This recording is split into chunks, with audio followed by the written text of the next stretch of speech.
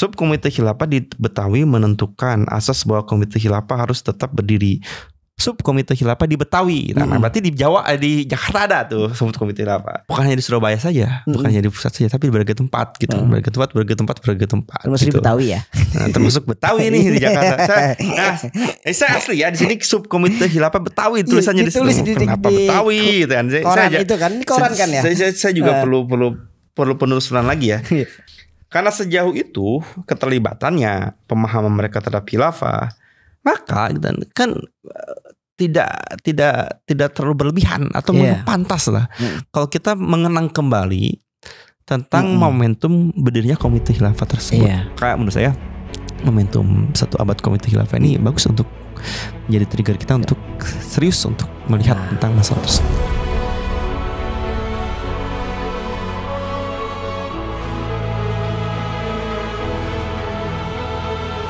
Assalamualaikum warahmatullahi wabarakatuh. Alhamdulillah berjumpa lagi bersama saya tentunya di X File Story. Dan mungkin teman-teman semua ingat eh, konten beberapa minggu yang lalu ya kita pernah membahas terkait tentang sejarah perjuangan khilafah. Nah, ada beberapa teman yang nah kalau bukunya seperti ini nih Nah, ini bukunya. Nih eh, beberapa minggu yang lalu ada kita pernah membahas tentang sejarah perjuangan khilafah yang ditulis oleh Om Septian Awe. Nah mungkin teman-teman bertanya atau ada pertanyaan mungkin ya di di beberapa eh, kolom komentar itu gimana sih supaya mendapatkan bukunya. Nah alhamdulillah pada kesempatan kali ini saya menghadirkan atau kedatangan tamu ya seakan kayak tuan rumah aja yaitu eh, Om Septian Awe. Apa kabar Om? Alhamdulillah baik. Alhamdulillah lama ya mikirnya ya ditanya apa kabar. Saya Oh, bingung nih. Oh bingung apa tuh? Om, Mas atau Bang atau apa nih? Jangan Om lah, terlalu tua. Saya Oh, masih muda. Tapi kalau mukanya mudahan saya ya. Oke, Om Septian langsung aja Jadi, nih. jadi perang umur nih kita. Ini dari umur. Langsung aja nih Om nih. Nih banyak yang bertanya nih Om. Ini gimana cara dapat buku Oh, iya, iya, iya, iya, iya. ini teman-teman pada bertanya ini. Ya sebetulnya sih sudah saya sudah punya platform untuk apa eh, cara membeli buku ya. Jadi mungkin silakan nanti kalau ada yang berminat karena kemarin juga saya lihat di kolom komentar banyak Ada yang ya? menanyakan ya. Heeh.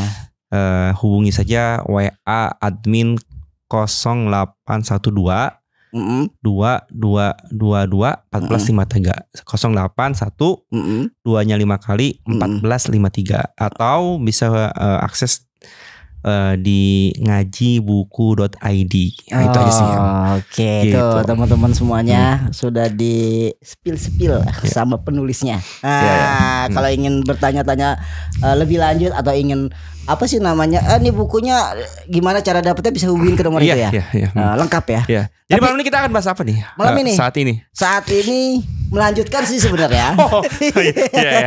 Nggak, saya khawatir kita bahas jualan buku terus sampai beres. Iya iya iya iya iya. Kita iya, mau iya, sama iya, gitu saat iya. ini. Iya benar juga ya. Tapi bolehlah sekali-sekali ya kan. Nah, kita melanjutkan nih Om. Eh, melanjutkan terkait tentang sejarah perjuangan khilafah. Nah, kita sama-sama tahu eh, di tahun 1924 ya.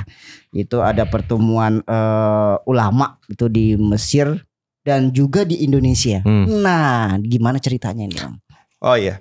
Eh jadi begini eh Om Insan ya gitu. Bung Bung. Oh enggak Oh, ya. Bung Insan ya. Om. Jadi eh saya sebetulnya pada bulan Oktober ini ya punya eh, campaign ya. Oke. Emang masih berkaitan dengan apa yang kita bahas pada beberapa waktu yang lalu, Mm-mm. yaitu tentang satu abad komite khilafah. Sudah satu abad. Ya, Oke. jadi rasa-rasanya setiap memasuki awal bulan Oktober kita tuh Hmm.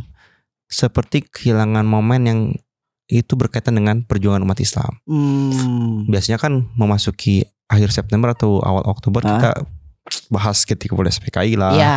ya. atau sebagainya. sebagainya. Hmm. Padahal ada satu Peristiwa. momen, Momen, yang itu oke. menurut saya mulai saat ini mari kita angkat ya. Ini Yaitu mulai mulai di, yaitu- terlupakan iya, mungkin iya, ya? betul, sudah dilupakan Oh, gitu ya. oh, bukan sudah terlupakan malah. Oke oke. oke. Yaitu soal komite khilafah. Mm, mm, mm. Nah, jadi satu abad yang lalu, Ah. tepatnya serai tahun 1924 Mm, mm. di Indonesia, tepatnya Mm. di Surabaya itu berdiri salah satu organisasi yang spesifik Mm-mm. eh, dibentuk untuk memperjuangkan khilafah di. Indonesia. Ya nama organisasinya adalah Central Komite Khilafat Hindia Timur. Hmm. Atau saya sering menuliskan di buku saya maupun di penelitian saya Hmm. ya, eh, namanya Komite Khilafah. Nah Komite Khilafah ini muncul atau lahir tanggal 5 Oktober 1924 Oke. karena memang diinisiasi oleh para ulama dan tokoh-tokoh pergerakan Islam saat itu Oh. untuk mengedukasi masyarakat Mm. tentang pentingnya khilafah. Hmm. Nah ini yang kok saya rasa-rasanya momen 5 Oktober ini kita hilang gitu ya. Iya. Kita kita eh, tidak mengingatnya atau lupa gitu kan. Padahal itu penting ya dalam Eh, menurut saya penting ya, ya. penting dalam artian begini. Mm-mm. Eh, ini eh, bisa jadi bisa kita buat ya momen ini sebagai momen memang ada kesinambungan perjuangan Oke. umat Islam hari ini Mm-mm. dengan umat Islam Indonesia di masa yang lalu. Mm-mm. Dan kita sudah bahas tuh kan di episode Iya. episode sebelumnya bahwasanya ya perjuangan khilafah ini sebagai sesuatu yang memang tidak asing bagi umat Islam di Indonesia. Iya. Nah, ini tidak asing. Dan ini bukan dan ini sesuatu yang yang alamiah gitu Ya, dan ya. diinisiasi oleh orang-orang Indonesia pada saat Hmm. itu. Hmm. Nah, artinya adalah bahwasanya bisa jadi ini menjadi suatu momentum bagi kita untuk mengingat tentang perjuangan tersebut. Mm-mm. Sekaligus juga menjadi trigger bagi kita untuk mengedukasi, mengedukasi ya, Mm-mm. Terutama anak-anak muda Indonesia hari ini tentang arti perjuangan tersebut. Oke. Mengedukasi kepada mereka bahwasanya ya yang namanya perjuangan khilafah itu bukan sesuatu yang seperti dinarasikan oleh orang-orang kebanyakan hari ini. Radikalisme, Mm-mm. demonstrisasi, Hmm. Betul. stigmatisasi negatif. Kenyataannya banyak tokoh-tokoh yang kita sudah familiar Mm. nama-namanya. Sebutlah Cokro Aminoto, Iya. Kiai Wahid Hasim, Mm-mm.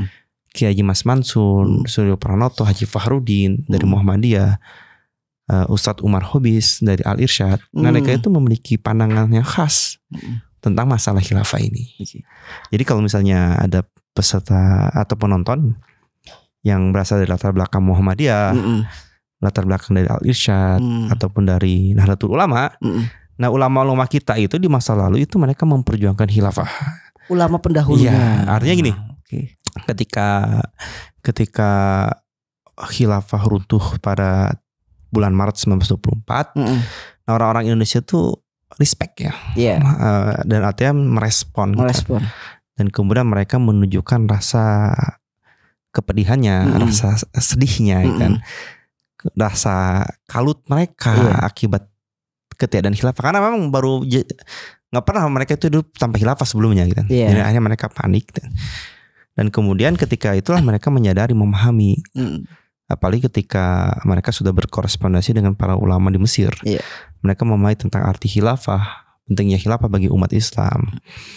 Nah, ketika itulah mereka kemudian eh, berkumpul di Surabaya pada tanggal Mm-mm. 4 dan sampai 5 Oktober, Lima ya, dua, empat. dua hari satu malam Mm-mm. lah gitu. Mm. Eh, 1924 dan akhirnya mereka di antaranya ya hasil Iya. keputusan Mm. tersebut adalah membentuk Sentral Komite Khilafat Hindia Timur. Iya. Komite Khilafah di Surabaya. Itu kiai para habaib juga. Betul sekali. Itu yang hadir. kemudian harus kita pahami ya Hmm. kita pada pada saat itu. Nah ini kan berarti kan sudah satu abad nih. Iya. Katakanlah gitu. Sama ya. Sudah satu tahun. Lama ya. Meskipun saya meneliti ya ketika S2 gitu. Komite Khilafah ini kan hanya bertahan sekitar empat tahun gitu. Iya. Tiga atau empat sampai lima tahun. Tapi kan mengapa?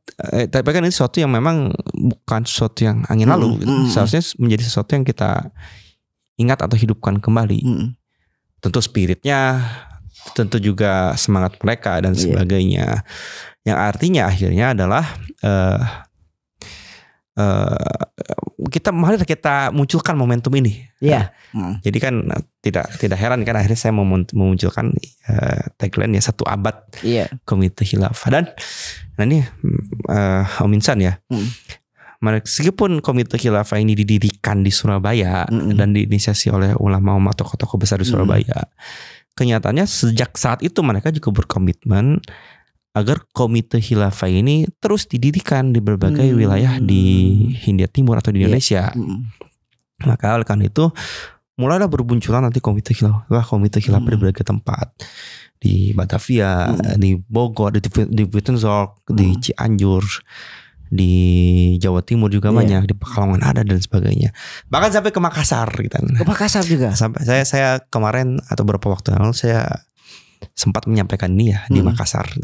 Healing healing ke Makassar. Ya, ya, jadi diminta untuk satu satu apa kesempatan Mm-mm. berbagi sharing tentang sejarah perjuangan Islam. Mm-mm. Ya saya rasa eh, pada saat itu saya ingin ah ini momentum untuk saya menyampaikan ya Mm-mm. bahwasanya di Makassar pun pada tahun-tahun tersebut ya ada komite khilafah di Makassar, komite Hmm. khilafah Makassar gitu. Sesuatu yang tidak kita duga, saya juga tidak Iya. menduga kan. Oh. Cuman gini, ketika saya dapat pertanyaan banyak, lalu kelanjutannya bagaimana? Ya saya nggak tahu konteks Makassar, Ah. karena memang saya meneliti komite khilafah pusat. Mm-mm. Jadi a- artinya memang ini menjadi kabar buruk, Mm-mm. karena saya nggak tahu banyak tentang Iya, di cabang. yang di Makassar itu. Ya, Heeh. berbagai tempat lah saya nggak tahu Mm-mm. di, di cabang-cabangnya, tapi ada gitu. Mm. Tapi ini juga menjadi kabar baik sebetulnya masih banyak peluang bagi kita kaum muslimin bah- bahkan bagi para pemirsa penonton di Hmm. berbagai tempat di per, di bagian di tempat Hmm. mana pun bahwasanya bisa jadi di tempat-tempat kita masing-masing itu ada komite khilafah Mm. pada tahun 1924 eh, dan dan tahun-tahun setelahnya dan itu banyak belum diteliti Iya. belum Ya, diangkat angkat ya, belum belum belum di, di- ya belum di belum diulik ya Heeh, belum ada teman saya yang sudah mengulik sih misalnya komite khilafah yang ada di Jawa Barat gitu Mm-mm. ada buku yang terbaru teman saya atau kenalan saya mengat- Mm-mm. Membahas tentang hal itu. Nah, itu Iya. itu menurut saya kemajuan lah gitu. Heeh. Rasa-rasanya juga kau kenalan saya ini juga terinspirasi dari tulisan dan penelitian Mm-mm. saya. Akhirnya akhirnya dia menulis spesifik Jawa Barat gitu. Ah. Bisa bagus itu. Keren sih itu ya. Keren. Jadi kita- eh, kalau ditanya tentang bagaimana eh, perjuangan khilafah di Jawa Barat pada saat itu, wah Mm-mm. saya angkat tangan. Mm. Teman saya udah nulis tuh gitu. Ah, sudah mulai meneliti maksud saya dia. adalah saya akui Ah, saya hanya meneliti yang pusatnya Yang saja pusat. dan saya selalu berbilang bilang ini terbuka bagi kita untuk meneliti komite khilafah komite khilafah cabang dan sudah ada ternyata yang meneliti komite khilafah di Jawa Barat Jawa dan Barat. itu sudah jadi buku. Nah ini kan menurut saya Ya.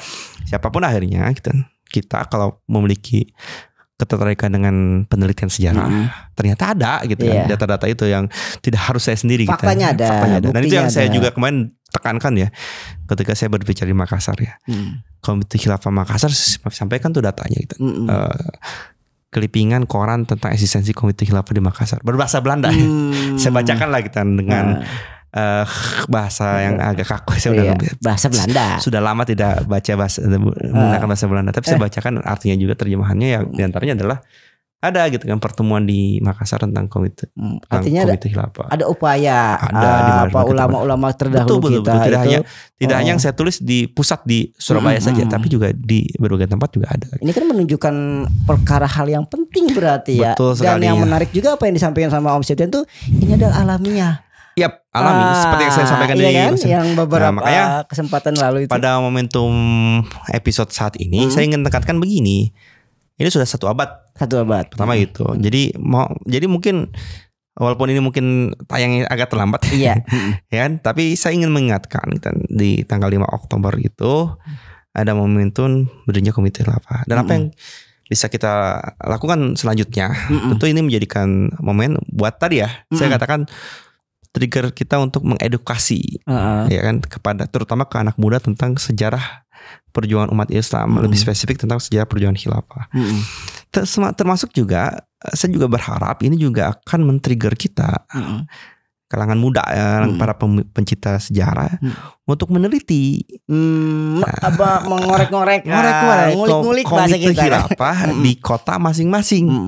Karena itu ada datanya, penyebutannya, pemberitaannya tentang komite khilafah Mm-mm. di Cianjur, di Funjok, Mm. di Menes, di Bukan satu Madura dan di berbagai ya. tempat gitu kan. Ada itu ada tempat. gitu kan dan eh dan itu menarik buat saya menarik buat saya yang akhirnya eh bisa kita simak gitu. Iya, ya artinya memang apa namanya ya kita sebagai anak muda ya, cie anak muda. Atau eh, teman-teman semua yang menyaksikan video ini, ini adalah perkara yang penting dan memang ini perkara yang eh, alamiah yang pernah dilakukan oleh eh, ulama-ulama kita terdahulu. Dan seyogyanya ya kita dan seharusnya ya eh, kita juga eh, mempelajari eh, sejarah ini dan juga menjadikan apa ya bukan hanya sekedar mempelajari ya Betul tapi sekali, apa sih trigger atau jadi memicu kita ya memicu, memicu, kita untuk Iya. Satu sisi mencari tahu, Hmm. kemudian dia eh, berharap ya eh, ini perkara yang penting gitu. kan. Betul, Dan betul. juga itu selain di kalau kita lihat ya di catatannya eh, tulisan Om Septian ya eh, di selain di tanggal 4 eh, 5 Oktober itu eh, ada juga di bulan Desember ya. Ya, ada betul ada sekali ada, ya. ada ada aktivitas juga eh, di bulan Desember itu masih di tahun yang sama 1924 itu tepatnya tanggal 24 sampai 27 itu Kongres Al Islam. Iya. Ya, itu eh, mungkin bisa diceritakan seperti apa itu. Nah, ini begini ya. Apa, Ya. eh, ada di buku yang ini. Ah, buku yang mana nih? Kita lihat ya. Nah, ada jam-jam, buku mana jam-jam? Wah, gitu. ini sudah lama saya nggak memanggil jam-jam. Wah, ini jam-jam. Ya, ada Ya, tangannya di doang sini saya kelihatan. sudah, menyebutkan ya. Iya. Eh, saya lebih lengkap, di- Hmm. lebih lengkap di buku yang ini ya. Jadi Ah, itu saya lebih lengkap. menyebutkan ya eh, beberapa komite khilafah. Jadi sebelum itu ya. Tadi Hmm. tadi tadi tertrigger ya. Ah, Saya ingin menyebutkan dulu ya eh, Oke, oke. nama-nama komite khilafah yang ada di berbagai daerah. ah, Nah, ada yang- catatannya di sini, ada tulis Hmm. apa eh, gitu dan eh, tulisannya. Eh, artinya eh, di berbagai tempat emang komite khilafah itu didirikan Mm-mm. termasuk nanti di di Bogor, Mm. kemudian di eh, Jawa Barat, di Cianjur, Mm. di kemudian di eh, Pekalongan gitu kan, kemudian Hmm. di Tegal dan lain sebagainya. Dan itu disebutkan bahwasanya ya memang mereka pada saat itu ingin mendirikan khilafah. Mengembalikan Khilafah, dan- khilafah. Jadi gini ya bagusnya ya. eh, kita tidak menyangka, saya juga tidak menyangka ya. Mm. Kesadaran tentang khilafah itu ada Mm-mm. berserta eh, apa deskripsinya. Mm-mm. Misalnya gini, dalam s- dalam surat kabar Bandara Islam yang saya Nah. temukan itu di, dilampirkan tuh tentang penjelasan tentang apa itu khilafah gitu. kan. Hmm. Nah, khilafah adalah imamah gitu kan, Mm-mm. yang memang wajib ada untuk memimpin kaum muslimin untuk urusan dunia dan urusan urusan agama dan urusan Hmm. dunia. Hmm. Ini definisi definisi khilafah yang sebenarnya bisa biasa kita temukan di kitab-kitab Mm-mm. klasik ya Iya, tentang takrif atau definisi khilafah. Mm-mm. Ah, tetapi eh, apa yang saya ingin sebutkan adalah ternyata definisi tersebut atau penjelasan khilafah tersebut itu dipahami Hmm. oleh umat Islam saat itu. Buktinya apa? Buktinya ketika mereka menjelaskan tentang khilafah Mm. di dalam koran yang mereka terbitkan, dalam forum-forum yang mereka adakan, eh, itu definisi khilafah gitu kan. Berbahasa gitu. Belanda itu maksudnya. Ah, enggak berbahasa Ah. Indonesia Melayu lah. Mereka oh, yang di itu ya, ya. yang ya. di koran ini ya, Iya, di, koran, buku ini koran. ya. Nah. itu disebutkan tuh gitu kan Mm. khilafah itu apa gitu kan itu Ah. disebutkan gitu nah kan eh itu kan sesuatu yang mencengangkan ya Mm. sesuatu yang memang eh eh, saya dulu menyangka sih ini hanya eh, hanya hanya gerakan-gerakan yang sifatnya eh apa ya istilahnya sporadis atau Hmm. mungkin tidak terstruktur Iya. tidak itu sangkaan saya dulu ya Iya, ketika ah. masih masih kuliah gitu kan. Mm. Tapi ternyata ketika di diteliti lebih lanjut eh, gagasannya eh, cukup jelas tentang Hmm, khilafah yang hmm, dimaksud itu apa gitu. Hmm.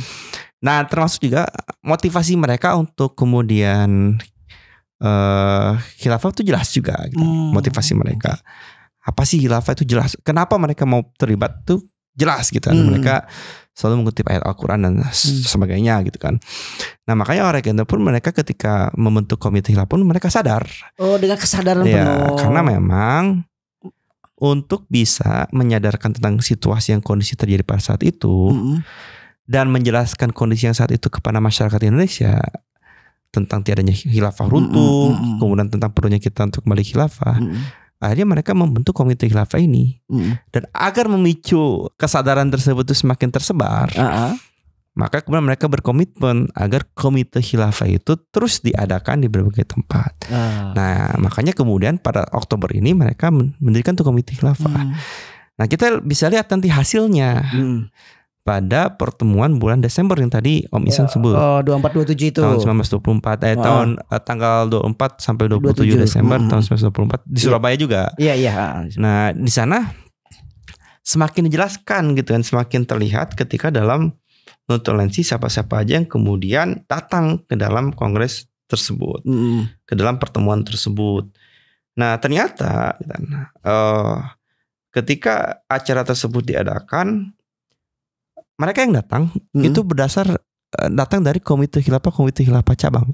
Hmm, berarti dari dari daerah lain dong. Ya, mengirimkan Oh, delegasinya untuk oke. datang ke Kongres Al Islam luar biasa Hmm. yang diadakan bulan Desember Di Surabaya. di Surabaya. Oke.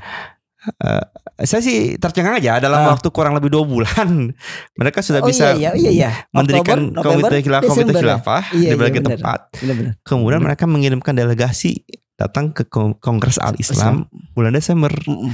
Nah itu kan eh, menarik ya itu itu sesuatu yang menurut saya eh, luar biasa sih gitu kan. Nah gini nih misalnya Mm. di buku saya nih Iya, tahun iya. halaman 125 saya masukin clipping ya tentang kabar Mm. Hindia. Nah, kabar Hindia gitu kan. Eh, tentang eh, apa eh, pergerakan khilafah. Mm. Nih, subkomite khilafah di Betawi menentukan asas bahwa komite khilafah harus tetap berdiri. Subkomite khilafah di Betawi. Nah, Mm. berarti di Jawa eh, di Jakarta ada tuh subkomite khilafah. Oh disebut Betawi Ya, itu. kemudian Oh, nanti iya. pada hari Ahad 30 November Mm. yang lalu di Cianjur telah Mm-mm. diadakan rapat dihadiri oleh kurang lebih 3000 orang. Di antaranya adalah eh, termasuk komite khilafah yang ada di sana gitu kan. Untuk memutuskan memutuskan banyak hal gitu kan Mm. di Cianjur pun ada gitu kan. Nah, ini Hmm. ini eh, hal yang termasuk juga nanti di Jogja juga ada dan sebagainya. Hmm. Ini kan eh termasuk ada juga di seperti yang diberitakan Bandara Islam, eh, subkomite khilafah juga ada di Majalengka, di Cirebon, Mm-mm. kemudian juga ada di eh, berbagai tempat. Nah, saya sendiri nggak bisa ngafalin satu persatu Iya, karena iya. banyaknya ini saking Hmm. banyaknya. Nah, itu kan Hmm. dalam waktu dekat, eh, dalam dalam limit waktu yang cukup singkat, Singkat itu. nah, kurang lebih dua bulan, itu Iya. sudah berdiri komite khilafah di berbagai tempat. Nah, kan artinya bukan hanya di Surabaya saja, bukan Mm-mm. hanya di pusat saja, tapi di berbagai tempat gitu, Mm. berbagai tempat, berbagai tempat, berbagai tempat. Termasuk di gitu. Betawi ya.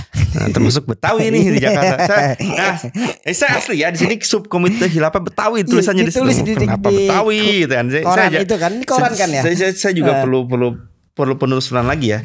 Kenapa Betawi? Kenapa nggak Batavia? Ya, kita, ntar lah, kita itu juga menarik ya. Nah, Tinggal gitu. nanti ditelusuri lagi. Nah, nah itu yang Hmm. itu yang kemudian eh, menjadi hal yang menarik ya yang kita harus simak. Nah makanya Mm.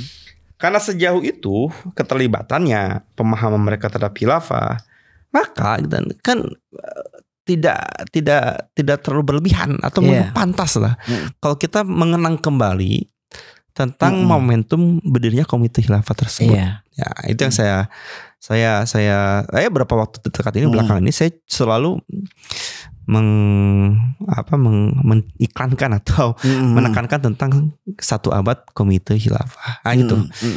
Gitu Om Insan Ya gitu. juga di ya kalau nggak salah yang di Desember itu Oh. ada ada tiga keputusan ya kalau nggak Ya, salah. ya, ya. Salah satu itu yang menarik itu ya.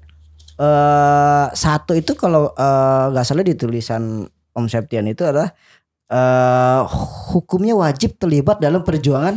khilafah. khilafah. Nah, Eh itu nah ya, luar biasa sekali gitu maksudnya itu. betul betul. betul. Nah, ini, ini, ini, ini apa nyambung dengan nama ini kan alamiah, nah, gitu. Iya betul. Hmm. Nah itu saya kan selalu teringat dengan ucapan ini nih alamiah yang memang eh, secara ya secara harus kita sebagai kaum muslimin Iya. ya memang alamiah harus memperjuangkan itu Iya, gitu. Ini lalu lihat kondisi sekarang seperti apa? Nah, yang yang tadi diceritakan oleh eh, disebutkan oleh Om Insan Ah. ya tentang tentang apa? Pertemuan di Surabaya Desember. Mm, mm, mm. Itu saya baca itu di koran Bandara Islam yang terbit tanggal 1 Januari 1925. Jadi Oh. seminggu setelah acara Oh iya, Kemudian 2000, beritanya muncul kan? Januari ya? Iya. Iya iya iya. ah. dan apa yang disebutkan itu benar Hmm. tadi ya. Tapi gini, saya pun berpikir Heeh. apakah pada saat itu Hizbut Tahrir sudah ada? Ah. kan kita tahu Iya, ya iya, hari iya, ini iya. kan yang paling terdepan loh, vokal Mm-mm, mm-mm. Yang menyuarakan menyuarakan khilafah itu kan Mm-mm. Hizbut Tahrir. Mm. Saya berpikir kan, apakah Hizbut Tahrir saat itu sudah ada gitu? Sudah ada. Tapi setelah saya ya kita pahami lagi kan, Hizbut Tahrir sendiri baru muncul tahun 1950-an awal, gitu, Oh 1950. jauh sebelum Ya, iya kan? berada. Nah, menandakan berarti bahwasanya sebetulnya Heeh. Seruan-seruan untuk perjuangan khilafah ini Mm-mm. itu bukan agenda organisasi Islam tertentu. Iya. Tapi emang ini menjadi agenda umat Islam yang itu alami. gitu. Mm. ya termasuk Komite Khilafah, Hmm. Syarikat Islam, Muhammadiyah ada di Muhammadiyah, situ. termasuk ya Hizbut Tahrir juga gitu kan. Hmm, Maksud saya gitu ya. hmm, Maksud saya gitu. Walaupun di era sekarang kontemporer akhirnya yang eh, yang terdepan, yang ter- Hmm. paling vokal ya Hizbut Tahrir. hmm. Gitu. Jadi soal eh, apa tadi yang sebutkan wajib ya untuk Hmm, umat Islam itu menyampuri ya itu memang disebutkan sebagai sebagai kesimpulannya. Nah, misalnya Kongres Al-Islam ya, saya tulis di sini Kongres Iya. Al-Islam pada tanggal 24 27 Desember Surabaya itu dihadiri oleh para ulama dan wakil-wakil dari berbagai organisasi. Mm-mm. Ada tiga keputusan yang dihasilkan. Pertama wajib hukumnya terlibat dalam perjuangan khilafah. Iya. ah. Nah, itu itu sebetulnya keputusan wajib ini itu Mm. sudah ada di bulan Oktober. Yang tadi Oh, saya sebut di ya. awal itu ya, Nah. ah, awal pertemuan itu. ya. Cuman Hmm. yang datang pada pertemuan bulan Oktober itu Hmm. hanya sedikit. Ah, Iya, Maksudnya ah. eh, tidak sampai mungkin sekitar 20 orang lagi kan. Iya, kayaknya di Desember sana. itu kalau nggak salah tiga tiga yang yang, tiga yang, ribuan. yang membentuk komite khilafah kan. Ah, Nah, itu kan sekitar segitu yang eh, tapi dihadiri oleh ulama tokoh-tokoh besar ya. Cokro Aminoto, Agus Salim. Kaji Wat Hasim, Tokoh-tokoh termasuk berpengaruh. Haji Hasan Gipo, ketua. Tanfiz pertama Nahdlatul Ulama, eh, Ustadz Umar Hubes Hmm. dari Al Irsyad, Kaji Mas Mansur, Kaji Fahrudin dari. Pak- dari Muhammadiyah datang tuh. Tapi kan gini, mereka berpikir ini oh, eh, untuk kemudian kita dianggap sebagai sebagai wadah yang memperjuangkan kesadaran tentang khilafah di Hmm. Indonesia itu belum cukup Hmm, untuk oke. forum yang masih eh, terbatas ini gitu. Iya. ah. itu yang kemudian akhirnya mereka kemudian meng, men- ini menjadi latar belakang termasuk juga menjadi tujuan mereka Hmm. berikutnya adalah kita perlu untuk mengadakan pertemuan yang lebih besar Lebih besar. nah diadakanlah tadi yang Hmm. 24 27 Desember Desember. dengan segala komitmen mereka akan segera memberikan kesadaran ini ke seluruh umat Islam di Indonesia Dengan seriusnya Iya itu. serius. Mereka komitmen Mm-mm. komite khilafah segera dibentuk di berbagai tempat Iya. dan sebagainya dan sebagainya sehingga kemudian ah, kewajiban ke, tadi ya eh, Mm-mm. keputusan tentang hukumnya wajib itu akhirnya dibacakan kembali ditegaskan kembali oleh masa yang lebih besar Ya, oke. pada Desember 1924 tadi. Nah saya sudah punya sinotulen sini ya Mm-mm. eh, catatan-catatan apa sih yang mereka putuskan saat itu Mm-mm. eh, perdebatannya seperti apa yang terjadi Mm-mm. di sana. Saya punya catatannya gitu. Dan termasuk tadi yang disebutkan oleh Umisan tadi di pertemuan Desember 1924 itu di Surabaya emang di antaranya memutuskan tentang wajibnya hukum, hukumnya wajib ya untuk Mm. mereka terlibat, dalam Terlibat. masalah Mm. khilafah ini. Mm. Dan eh mereka juga nanti sepakat ya untuk terus mendirikan komite khilafah di seluruh Indonesia. Nanti Iya. di tahun-tahun berikutnya ya akhirnya seperti yang saya sebutkan ya di koran yang saya temukan itu kan tahun 1925 atau 26. Eh 1926 ya. Eh saya nemukan kolam berbahasa Belanda yang dia menjelaskan yang dia judul headline adalah Khilafat Komite te Makassar gitu kan. Komite Hmm. Khilafah Di Makassar ke Makassar itu? gitu. Oh, oh, ke Makassar. Jadi Ah. jadi eh saya ke- ada di apa sih saya teks Oh, saya nggak hafal teks bahasa oke. Belanda yang artinya adalah bahasanya telah diadakan pertemuan di Makassar oleh kaum muslimin untuk kemudian Mm-mm. eh, mereka berkomitmen mendirikan komite khilafah. Hmm. Setelah salah satu pejabat komite khilafah di Surabaya yaitu Hmm. Mansur Jamani Mm-mm. itu datang ke Makassar menjelaskan tentang apa itu komite khilafah, apa itu pergerakan Hmm. khilafah kepada mereka di Makassar yang akhirnya kemudian mereka mendirikanlah Hmm. komite khilafah. Nah ini kan di Makassar tuh udah Iya. tahun 1996 tuh udah ada. Nah, Itu terus itu kan jauh kan. Hmm. Tapi di Jawa itu sudah ramai itu Sudah ramai, tersebut hmm. semakin ramai gitu. Nah selain itu juga gitu, selain itu ya ada hal yang menurut saya menarik ini ya. Apa Terlepas kita bisa setuju atau tidak ya. Mm. Ternyata ketika di pertemuan di notulensi pertemuan tentang bulan Desember 1994 tersebut di Surabaya, mereka juga eh apa istilahnya di, di situ tuh mau memutuskan ya atau Mm. mengkonsepkan Ya. mengkonsepkan tentang khilafah yang mereka cita-citakan. Nah, i- begitu ya. Saya, Iya. saya- dan dan juga eh, ini apa namanya mengirimkan juga nih di, di sa- salah satu keputusannya ya mengirimkan eh, utusan ya dari Iya. Indonesia ke Kairo ya. Nah, untuk membawa proposal khilafah Ya, yang iya, mereka iya. cita-citakan. Ya, saya saya saya menulis proposal sih. Iya. Tapi tidak terus proposal ya. Tapi Hmm. gini, ketika mereka ingin membahas khilafah, ingin terlibat membahas khilafah dan mereka kemudian mengef, nah ini mengevaluasi Oh. kegagalan khilafah di masa Mm. maaf, Oh, iya. maaf, kegagalan khilafah di masa-masa sebelumnya Mm. gitu. mengevaluasi Hmm. akhirnya mereka kemudian merumuskan khilafah itu bagaimana sih ke depannya gitu. Nah, itu kan eh akhirnya dirumuskan oleh mereka sehingga mereka kemudian menginginkan khilafah yang baru yang tidak terjadi dan jangan sampai Mm-mm. terjadi pada masa-masa sebelumnya karena mereka Mm. melihat di masa-masa sebelumnya khilafah bisa lemah Mm-mm. kemudian bisa hancur dihancurkan kalah dalam perang dunia pertama kemudian Istanbul itu kemudian di, di, diinvasi oleh Iya. sekutu dan bahkan kemudian Sul- Kesultanan Utsmani dan Khilafah Utsmani dibubarkan oleh Hmm. Majelis Nasional Turki itu menandakan bahwasanya khilafah di masa sebelumnya itu ruwet Berantakan lah gitu kan. Hmm. sehingga menurut mereka khilafah di masa Hanafi itu harus begini begini dan begini nah Hmm, disusun lah itu. itu. yang kemudian saya sebut sebagai proposal Oke. saya Hmm. saya membacanya proposal, proposal. gitu. Menyebutnya proposal. Menyebutnya proposal lah, Ah. biar mudah lah gitu Ya gitu udah. Dan itu kenapa dikirim ke Kairo? Jadi gini, nah, di beberapa bulan sebelumnya Heeh. baru penjelasan tentang khilafah ini baru clear. Hmm. Persoalan khilafah ini baru clear ketika para ulama di Kairo pada bulan Maret eh, 25 Maret 1924 itu mereka menjelaskan tentang mendeskripsikan tentang permasalahan permasalahan yang terjadi pada saat itu. Oh. Khilafah bubar mereka jelaskan kenapa bisa mm. bubar. Kenapa keti- ketika bubar apa yang dilakukan umat Islam mereka Mm-mm. jelaskan gitu. Dan mereka menjelaskan tentang hakikat khilafah, pentingnya khilafah bagi umat Islam. Mm.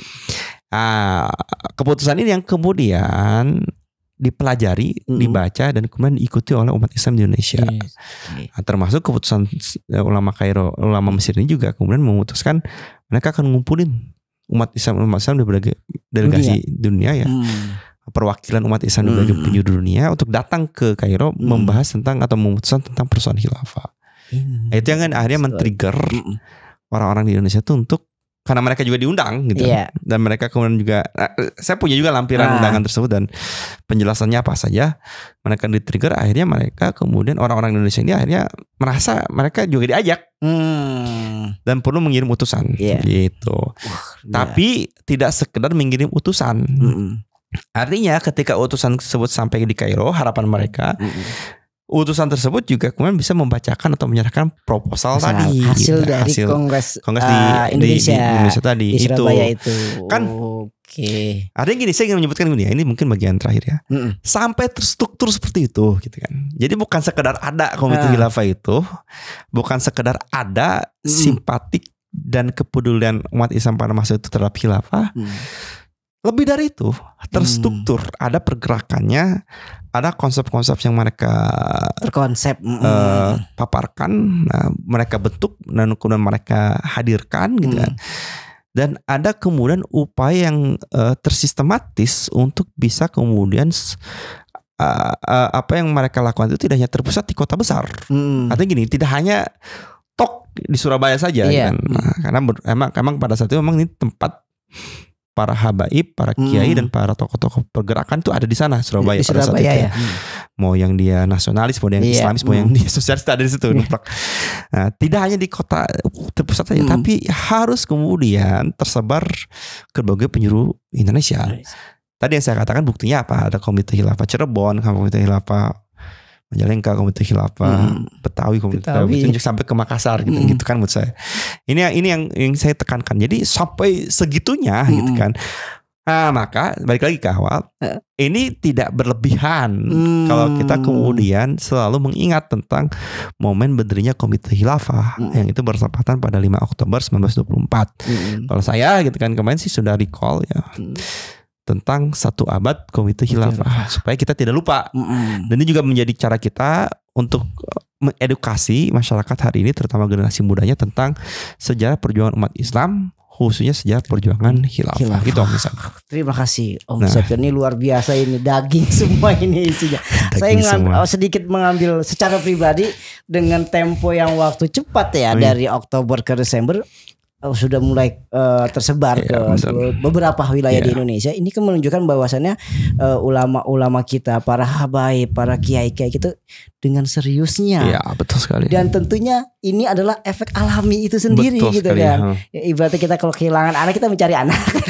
kita, Iya, iya, benar. ya kan? Kayak gitu kita ke mana, kita pergi, kita harus Hmm. cari gitu kan. Itu kan dengan seriusnya dan ini adalah eh, emang ini alami seharusnya Hmm. dan, dan kita juga eh, generasi muda atau generasi kekinian atau zaman sekarang ini sudah satu abad Iya. bukan hanya sekedar membaca ya om ya seperti ini bukan hanya Mhm. sekedar eh, meneliti tapi ini menjadi apa trigger gitu ya Iya benar. Eh, agar kita juga menjadikan eh, perjuangan eh, khilafah ini menjadi sebuah yang alami yang memang harus Yep. kita perjuangkan mungkin kurang lebih seperti itu ya om Betul Septian sekali. Ya. Eh. om Septian Closing statement ada nggak? Apa? Closing statement masih ada. Ada dong, ini saya baru pengen nanya ini. Oh.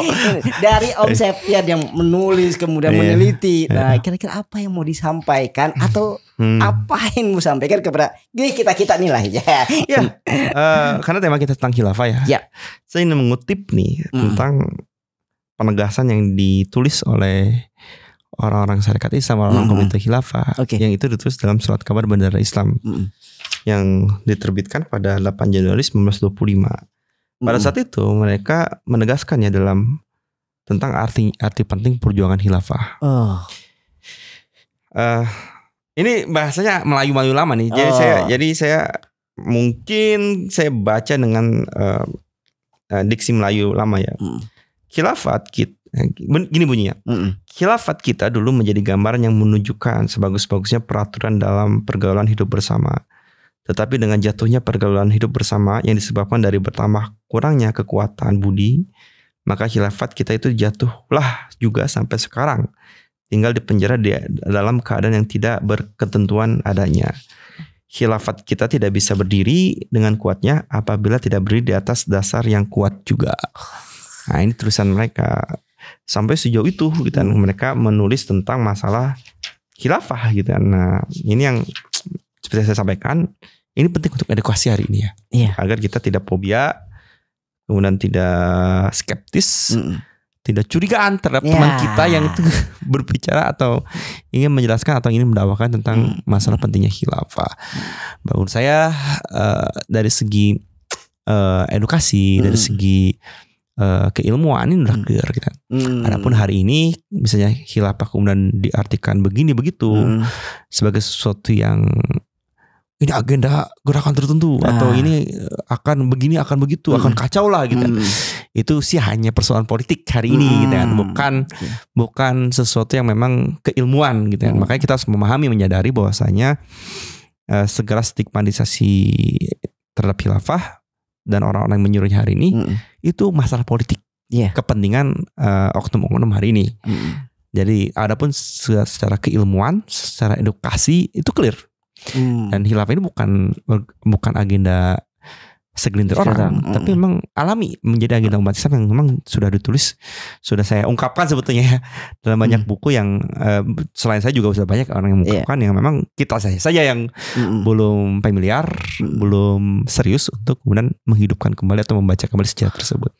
Maka menurut saya momentum satu abad komite khilafah ini bagus untuk menjadi trigger kita untuk serius untuk melihat Nah. tentang masalah tersebut. Itu yang bisa ya. Terima kasih atas kesempatannya. harus serius, Ini saya senang ay. banget dikasih ini. forum buat ngobrol menjelaskan sesuatu yang ya mudah-mudahan bermanfaat ya. Karena memang menarik mata-mata sejarah. Kita mau bilang apa? Sejarahnya ada kok. Betul sekali. Dan di yang di, di- tadi disampaikan Iya. terus tertera ada Iya. eh, di buku peran surat kabar bendera Islam dalam perjuangan Iya. khilafah 1924 sampai 1927. Hmm. Nah, ini eh, sama juga kontaknya yang tadi juga Oh, untuk iya, mencari iya. mencari.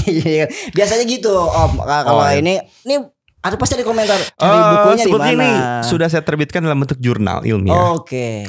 Tapi sing tapi eh, cuma 20 halaman kalau tidak saya jurnalnya gitu. Hmm. dan dan nggak ada clippingannya. Jadi eh, silakan kalau se- searching di internet Mm-mm. ada jurnalnya, jurnalnya ya. Oke. Oh, jurnal ya. ringkasannya Mm. di ilmiah ilmiah jurnal ilmiah karena juga penelitian saya dulu di UI gitu Mm.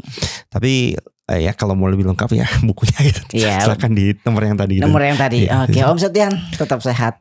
Amin, ya amin. tetap eh, Muda ya, menulis tetap- menulis tetap muda. Oh, ai, muda mah muda iya. harus itu. tapi tetap mudahan saya kayaknya dari dari muka oh enggak juga ya Googling aja nanti Ya. umurnya berapa dan umur saya berapa gitu. siap siap siap Om siap Om Septian sekali lagi terima kasih jangan bosan-bosannya Insya Allah nextnya kita akan bicara lagi tentang fakta-fakta sejarah yang mungkin saat ini banyak orang yang terlupa Iya, Ah, betul sekali. yang apa namanya dengan kedistrek hal-hal yang Ya, lain sekali lagi terima kasih Om Septian Ya. Biar tetap sehat. Oh, Cinta Nabi. cinta Nabi? Cinta, Cinta syariah luar biasa. Ya teman-teman begitulah obrolan saya dengan Om Septian. Menarik sekali dengan fakta-fakta sejarah. Dan ini menjadi im- uh, wawasan ya tambahan bagi diri kita yang insya Allah ini bisa menjadi langkah apa yang mau kita ambil eh, ke depannya. Terima kasih sekali lagi teman-teman yang telah menyaksikan eh, video atau konten kita kali ini. Tetap sehat, tetap semangat dan tentunya tetap taat. Assalamualaikum warahmatullahi wabarakatuh. Waalaikumsalam warahmatullahi wabarakatuh.